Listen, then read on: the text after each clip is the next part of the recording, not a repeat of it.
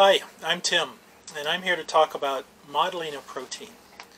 So here in the CBM, we've been creating these student modeling programs now for many years, and yet we still find that someone who is new to these programs are often a little bit confused as to what it actually means to model a protein.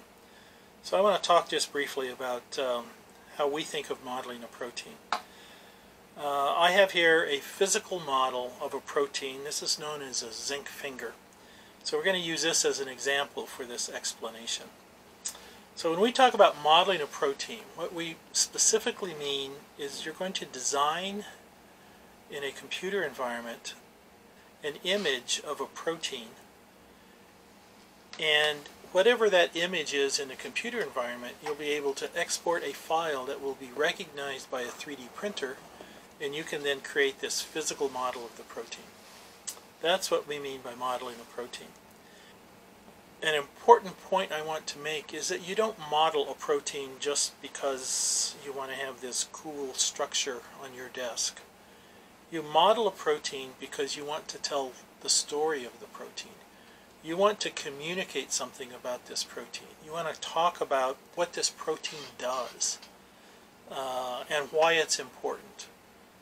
Okay, the example we're going to use here is a zinc finger. And I'm holding here in front of me a uh, simple model of a zinc finger.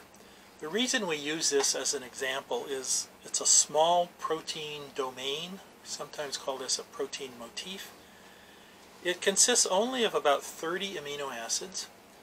And starting here at the N-terminal end, you have a two-stranded beta sheet, uh, and then a little little loop here and a short alpha helix. So it has some beta sheet, it has an alpha helix. And this so-called protein fold is stabilized by this green zinc atom, which is simultaneously bound by two cysteine residues from the beta sheets and two histidine residues uh, from the alpha helix. So that is a zinc finger. There are lots of zinc finger proteins encoded by the human genome one of the things we learned from the Human Genome Project is that one of the largest families of proteins in the human genome uh, are, are these zinc finger proteins. What do they do? Largely, usually, they're DNA binding proteins. And as they bind to DNA, they somehow regulate the expression of that, of that DNA, of the gene that's just downstream from that binding site. If this zinc finger motif binds to DNA, and if that's the story we want to tell, then this model, a smaller scale model, but this might be a more effective model. Because what you see here is not just one zinc finger. We've modeled one, two, three zinc fingers that are just linked together end to end to make a zinc finger protein. And these three zinc fingers are binding to a double-stranded fragment of DNA. So these are sequence-specific DNA binding proteins. Every finger, every zinc finger, can bind to three specific base pairs of double-stranded DNA. So here we have a three-fingered protein known as ZIF268, and it's recognizing a nine base pair segment of double-stranded DNA. Okay, so these are these are two dramatically different models. They look very different, even though they're different representations of the same thing. So let's back up even one step further and talk for a minute about how are you going to go about designing this model. So you're going to start by going to the protein data bank and you're going to download a file which contains the XYZ coordinates for every atom that's in this structure. So if you open a PDB file in JMOL and you read all of those atoms into that computer environment and you display each atom with a small sphere, in this case even color-coded according to the identity of the atom. So you get uh, what we call a space-filled model of the protein. Now, rarely do we create a physical model of a space-filled protein because in my view, they're not really very useful. You just get this lumpy thing that is way too complex to really derive much information from it. But the point is, any image that you can create in the JMOL environment on a computer, you can actually convert that into a physical model using 3D printing technology. So what you do then, designing this model, is largely a, a series of decisions in which you decide what not to show. You're going to simplify this and only show those features of the protein which tell a story. Here's a version that I, I really like.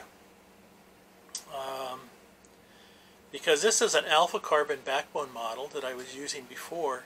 But now you can see at every one of these elbows, every one of these alpha carbons, we've now displayed the structure of the side chains, amino acid side chains that come off of each one of these alpha carbons. We've also included the zinc atom with the two, cysti two cysteines and the two histidines that bind to this zinc atom. So this is the kind of model that would tell a story about the structure of this protein. And we could simplify it even more than by going back to this model that you've seen before. All right, and this might be what you want to end up with. But now, let me show you just a few more models. Depending upon the story you're trying to tell, you might want to emphasize that a zinc finger protein is usually made up of multiple copies of this zinc finger motif. So here's a model that you might want to make in which there are three zinc fingers that are joined together so we still have the, the zinc atom here. We have the two, hist two histidine, two cysteine residues that bind it. And notice this arc of amino acid side chains right here. So this, these are the side chains from three consecutive fingers that bind to DNA. If my arm is double-stranded DNA, this three-fingered protein is going to bind right here. So this might be a very useful model if you really wanted to talk about how this zinc finger protein binds to, to DNA.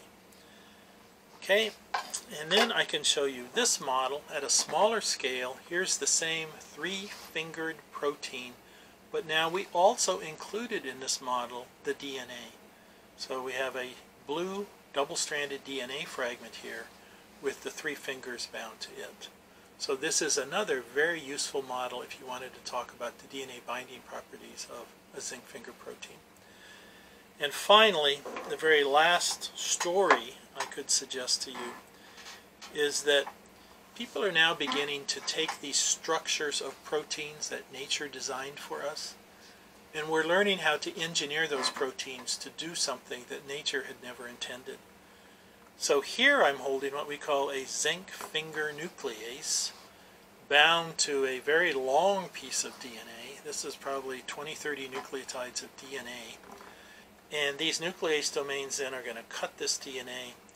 And this is a engineered protein with which we can then begin to edit the human genome.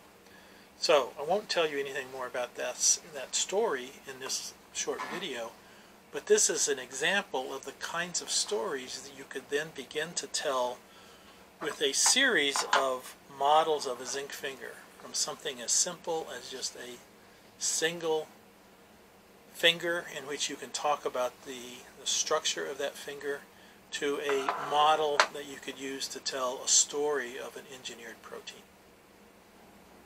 So I've shown you a whole series of different models of a zinc finger protein here. And I guess the point I'd like to make then is that they're all the product of a design. They're all different because the person who designed them had a different purpose in mind for how they would be used. So your your job as the designer of a protein model is to decide first of all what is the story you're trying to tell with your model and then you incorporate and display in that model only those features of the protein that will be useful in conveying that story to someone who you're talking to. So good luck with your modeling program.